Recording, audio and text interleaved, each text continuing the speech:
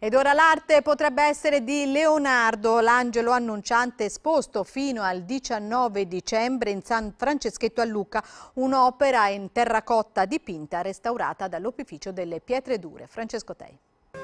Un'opera dall'autore ancora sconosciuto. Carlo Ludovico Raghianti la scrisse alla bottega del Verrocchio. Carlo Pedretti fece invece per questo angelo in terracotta di fine 400 inizio 500 il nome dell'allieve più illustre del Verrocchio, Leonardo da Vinci, di cui questa scultura sarebbe un'opera giovanile. Quello che è sicuro è che, restaurato dall'Opificio delle Pietre Dure di Firenze, l'angelo annunciante è finalmente tornato nella terra di Lucca, da cui viene. Era infatti nella pieve di San Gennaro sulle colline di Capannori, dove dovrebbe ora tornare.